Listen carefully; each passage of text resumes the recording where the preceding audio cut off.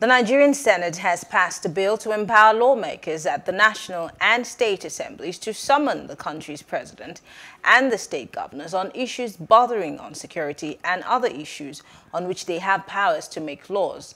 Out of a total of 93 registered senators, 77 voted in favor of the bill to summon the president and governors, 13 were against, and one lawmaker abstained. It, it also passed a bill to make it an offense to uh, and to provide the possible conviction of any person who refuses to honor the summons of the National Assembly or any of its committee. Well, joining us to discuss this is uh, Dr. Monday Ubani. He is a legal practitioner. Thank you very much, Doctor, for joining us. Thank you for having me. Good evening.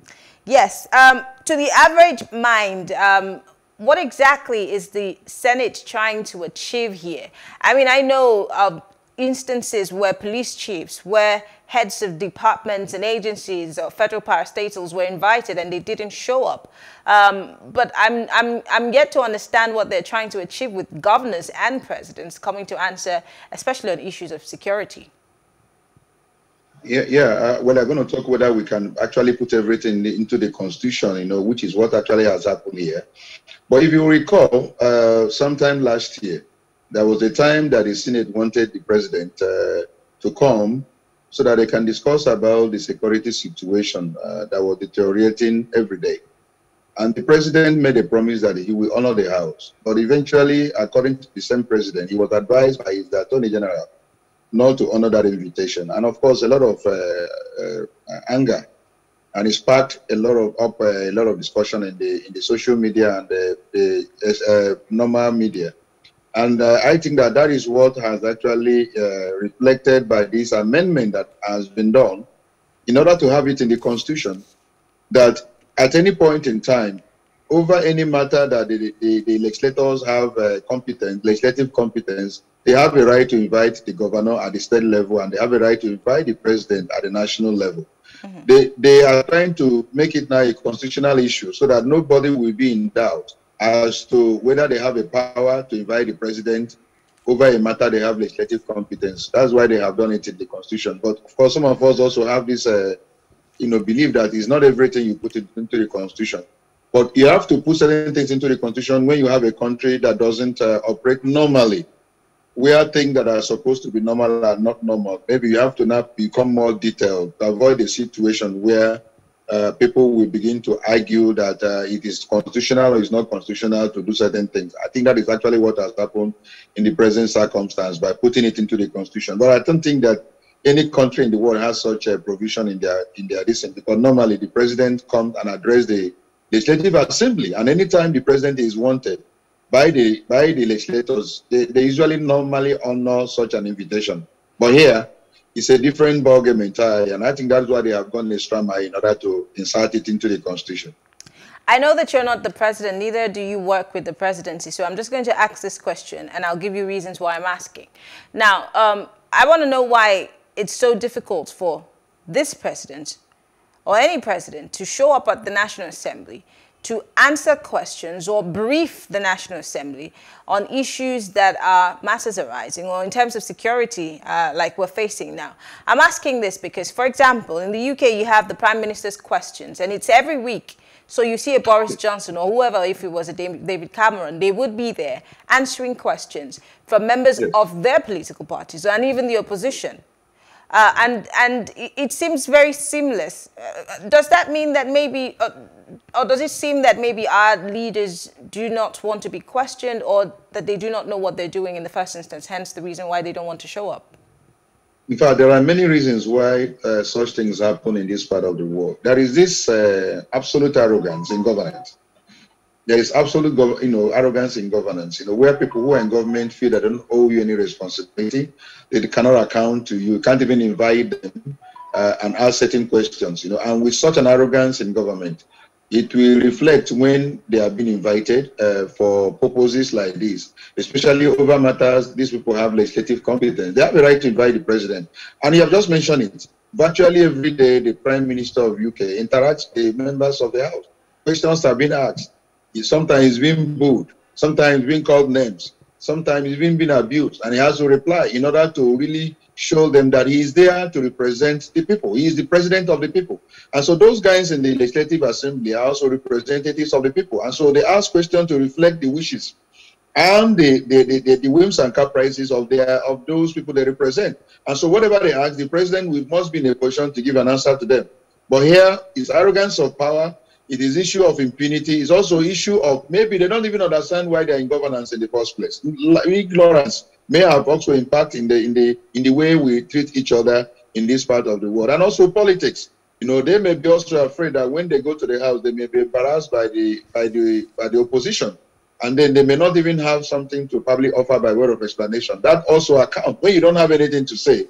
The only thing you need to do now is to use arrogance to cover it and say you will not appear, you will not even go and answer certain questions. But of course, if you have done well, and you are very confident that you have done so so well and all that, and then the house is inviting you, you shouldn't be afraid to go and give them an answer and probably, you know, give them explanation of what you are doing in governance. So most times it's also issue of incompetence and you are not doing much and you have not done much. There's nothing you're going there to can explain that will actually make sense and all that. That's why they keep away.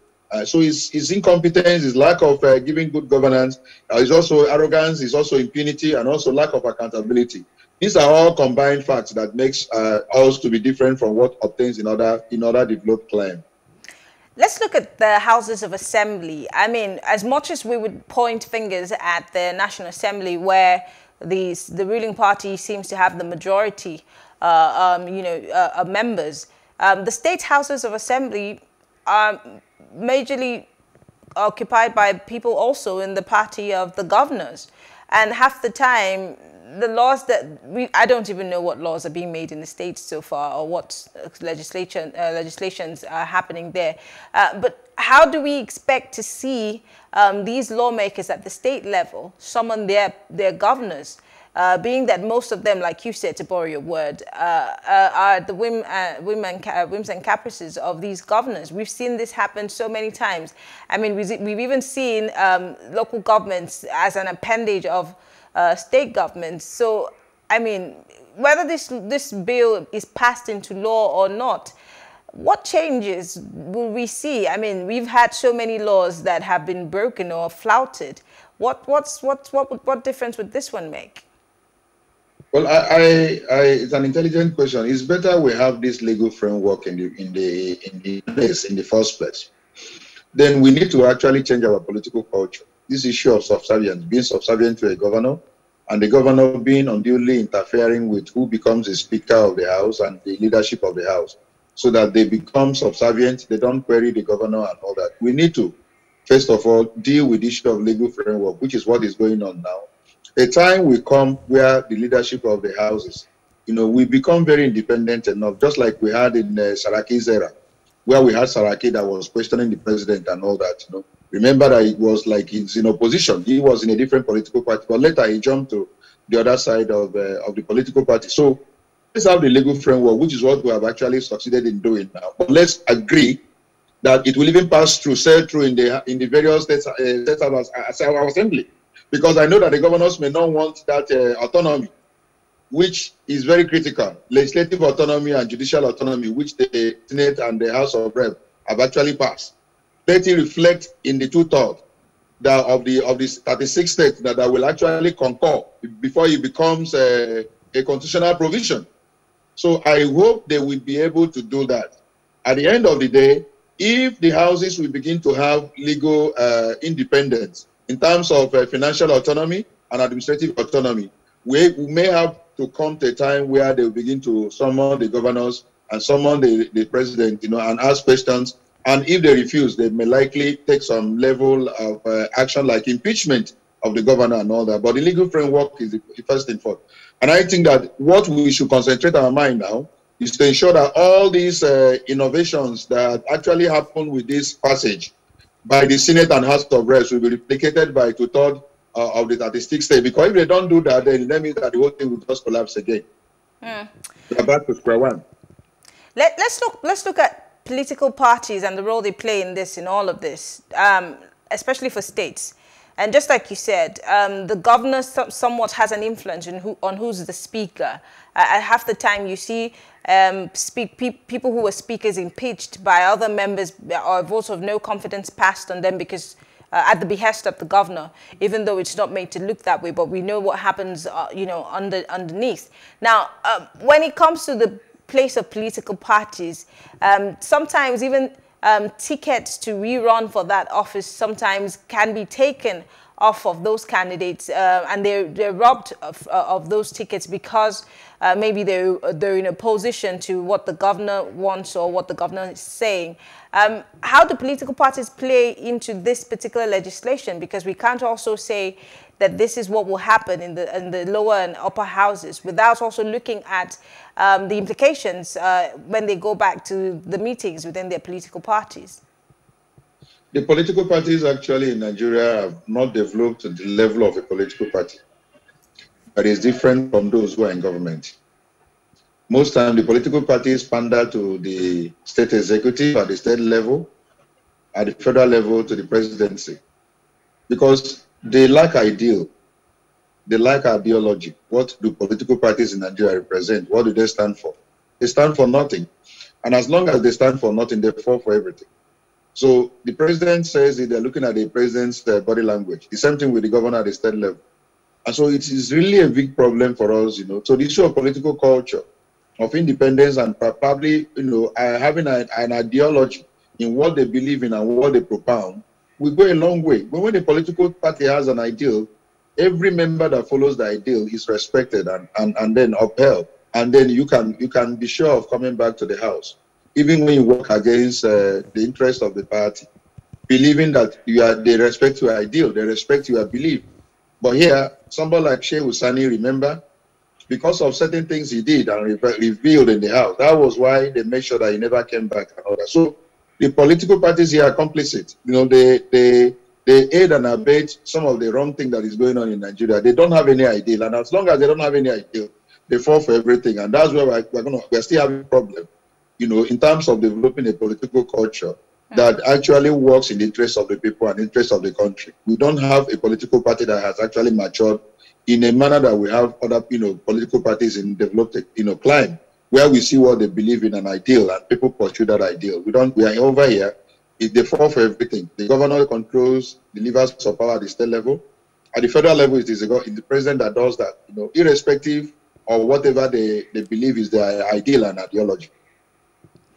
Well, I want to say, um, whatever happens, uh, you know, it remains to be seen because uh, in this conversation, it looks like no matter where we look, no matter how we look at it from whatever angle, it looks like um, it still boils down to whatever decisions the governors and Mr. President make at the end of the day. But I want to say thank you, Dr. Uh, Monday Ubani, for speaking with us on this matter. We'll keep our fingers crossed and we'll see how this legislations um, unfold. Thank you very much for having me. Good night. All right. Thank you all for staying with us as we round off the conversation on the show tonight. In today's Street Views, um, Nigerians are speaking out on how the fuel crisis is affecting them. I'm sure it's affecting you too. But I'll leave you with this as I come back tomorrow with Plus Politics. I am Mary Anacol. Do have a good evening.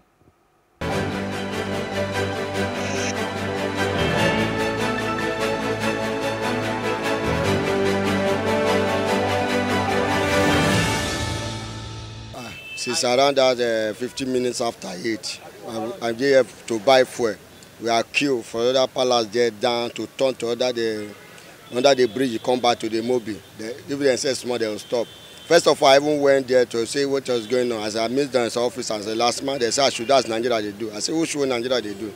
They said I should give them money, they will pass me enter. I said like I'm on. They said okay, I should give them one five. I said for what? It's very bad. Very, very bad. As you can see, I'm opposite my office here, National Open University. I was here in the morning. I didn't even go into my office. I had to queue to buy fuel and still where I am. I'm not even sure whether I'm going to get fuel. Uh, I've been here since 9 a.m. and this is actually getting terrible. We actually started our queue from the other side of the road. We have to go turn under the bridge, then make it down here. So since 9 o'clock, if we check the time now, this past 3. That means I've been here for over 6 hours just because I want to get to fuel. I think it got bad over the weekend. Uh, it wasn't like this last week. But uh, possibly, my opinion, maybe the good fuel that we have available prior to the foul fuel that they brought, we are possibly exhausting down. And uh, once it gets exhausted, of course, there will be scarcity. Knowing fully well that uh, the war in Russia, Ukraine, they said, has disturbed distribution